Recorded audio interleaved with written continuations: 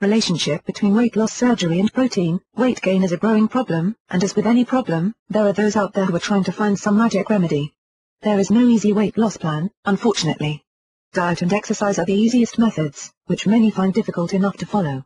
A physician may also prescribe or recommend weight loss pills as well.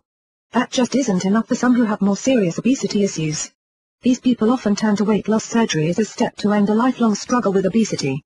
Millions of people start diets every year, both those recommended by a doctor and those recommended by family and friends. Others start the fad diets that crop up every year. Whatever the case, the majority of people who start diets can't finish them or find that the diets don't work quite as advertised. Those first few pounds aren't too difficult, but keeping the diet up and keeping the pounds off is harder than it seems. Unfortunately, the first few pounds that are lost in a diet plan are merely water weight. It takes time for a slowed-down metabolism to start running at a faster pace and burning fat. It is a hard truth that more weight means a longer wait to see the results of any diet. This can understandably lead to frustration. Too many ads claim powerful results and atypical examples of people losing 20 pounds in a week. Pills promise that you can shed pounds without changing your diet or spending a moment on exercising. No matter how wonderful it would be if these were possible, the fact remains that nothing can easily remove excess weight from the human body. Each time that someone tries one of these fads and it fails, there's another defeat and another step toward giving up on the dream of a healthy lifestyle for good. Losing weight permanently requires commitment and determination. It is a long and arduous journey that is bound to have a few slips and stumbles along the way. The trip will not only be physical but mental as well, and all trips begin with a first step. In this case, the first step is to understand just how serious obesity is.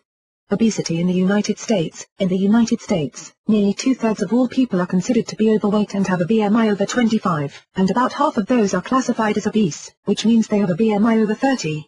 The list of complications caused by obesity are many, including arthritis, cardiovascular difficulties, diabetes, high blood pressure and even some forms of cancer. An obese person can expect a far shorter lifespan than others of lower weight because the problems and diseases listed above are much more likely to be fatal. Weight loss surgery is often not possible on those who are too heavy because the risk is so high as to be unacceptable. Who qualifies for surgery? The most common type of weight loss surgery is the Roux-en-Y gastric bypass.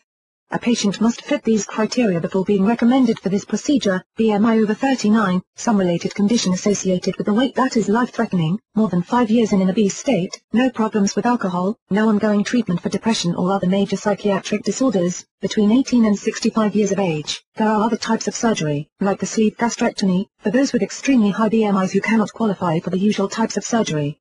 This type of surgery is merely the first stage, once enough weight has been lost, a second surgery is performed, which will convert the sleeve gastrectomy to one of the more traditional gastric bypass surgeries. Life after gastric bypass surgery, emotional support is an important part of the recovery process. Even before the surgery, you should arrange meetings with a support group with members that know what you are going through. You will also need nutritional guidance because everything involving food in your life will completely change. The surgery will reduce the size of your stomach since food bypasses the small intestine. It will take much less food to make you feel full and you will have a smaller capacity for absorbing nutrition. This makes supplements absolutely necessary.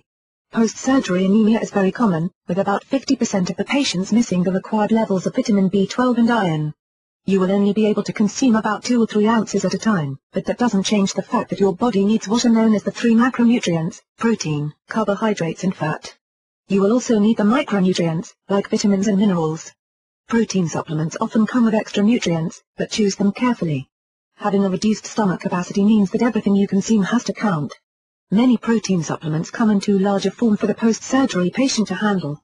Profect, from Protica, is 2.9 fluid ounces yet has 25 grams of protein in that tiny serving, as well as 10% of the vitamin B complex that you'll need for the day and all of the vitamin C. This makes it a fabulous between-meal snack as well as an important part of getting your body the protein it needs. Moreover, Profect is also available in a number of delicious flavors. What is the big deal with protein, anyway? No matter who you are, protein is necessary for your continued health. It is possible to take too much protein and suffer problems, but too little protein can also be dangerous to your health. The right balance is necessary, especially after gastric bypass surgery. Protein has many roles, it causes you to feel full, so you eat less. It aids in recovery following surgery, including reducing your scars and increasing your strength so you can exercise. A good amount can be packed into a small morsel so you can get enough for your daily requirement. Protein is needed in many important bodily processes, including the central nervous system, your immunity against disease and your digestive system.